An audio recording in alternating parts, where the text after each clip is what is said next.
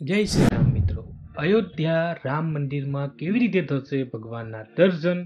સામાન્ય જનતા કેવી રીતે દર્શન કરી શકશે? મંદિરનો સમયગાળો, આરતીનો સમય શું રહેશે? આરતીમાં સામેલ થવા માટે શું કરવું પડશે? ભાઈ, કંઈ પૈસા આપવા પડશે?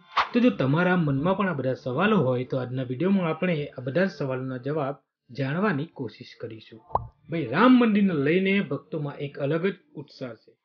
દરેક વ્યક્તિ વહેલી ને વહેલી તકે અયોધ્યા જઈને રામલાલાના દર્શન કરવા ઈચ્છે છે. તો ભાઈ, રામ મંદિરમાં દર્શન માટે કેવી વ્યવસ્થા કરવામાં આવી છે?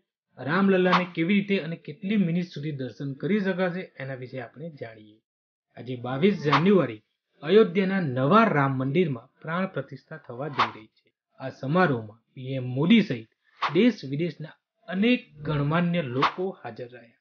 શ્રી રામ જન્મભૂમિ તીર્થ ક્ષેત્ર અનુસાર પ્રાણ પ્રતિષ્ઠા બાદ રામ મંદિર સામાન્ય શ્રદ્ધાળુઓ માટે ખોલી દેવામાં આવશે. હવે વાત કરીએ કે કોણ સંભાળશે મંદિર? તો ભાઈ, રામ મંદિરનું આયોજન શ્રી રામ જન્મભૂમિ તીર્થ ક્ષેત્ર કરી રહ્યું છે.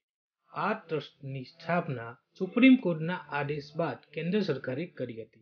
ટ્રસ્ટ જ મંદિરની તમામ કામગીરીની દેખરેખ કરી રહ્યું છે. મહોત્સવ બાદ પણ આ ટ્રસ્ટ જ મંદિરને સંભાળશે. હવે વાત કરીએ કે સામાન્ય જનતા ક્યારે દર્શન કરી શકશે? તો ભાઈ બાવીસ જાન્યુઆરી પ્રાણ પ્રતિષ્ઠા બાદ બીજા દિવસે, એટલે કે ત્રેવીસ જાન્યુઆરીથી શ્રદ્ધાળુઓ રામલલ્લાના દર્શન કરી શકશે. ટ્રસ્ટ અનુસાર બાવીસ જાન્યુઆરીના સામાન્ય જનતાના દર્શનની વ્યવસ્થા કરવામાં આવી નથી. સામાન્ય રીતે ભક્તને રામલલ્લાના દર્શન માટે એક મિનિટનો સમય મળશે.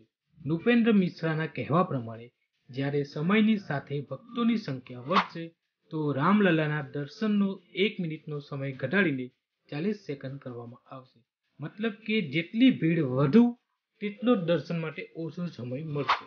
હવે ભાઈ મંદિરનો સમયગાળો. તો ભાઈ અયોધ્યામાં રામ મંદિર સવારે સાત વાગ્યાથી સાડા અગિયાર વાગ્યા સુધી અને ત્યારબાદ બપોરે બેથી સાત વાગ્યા સુધી સામાન્ય જનતા માટે દર્શન માટે ખુલ્લું રહેશે.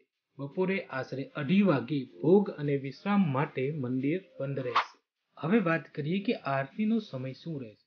તો ભાઈ રામ મંદિરમાં રામલલ્લાની દિવસમાં ત્રણ વખત આરતી થશે. સવારે સાડા છ વાગે શૃંગાર આરતી, બપોરે બાર વાગે ભોગ આરતી અને સાંજે સાડા સાત વાગે સંધ્યા આરતી થશે. હવે આરતીમાં સામાન્ય જનતાને સામેલ થવા માટે શું કરવું પડશે? તો ભાઈ અયોધ્યા રામ મંદિરમાં આરતીમાં સામેલ થવા માટે ટ્રસ્ટ પાસેથી પાસ એટલે કે એક આઈડી હોવી જરૂરી છે. ટ્રસ્ટ અનુસાર એક વારમાં માત્ર ત્રીસ લોકો જ આરતીમાં સામેલ થઈ શકે.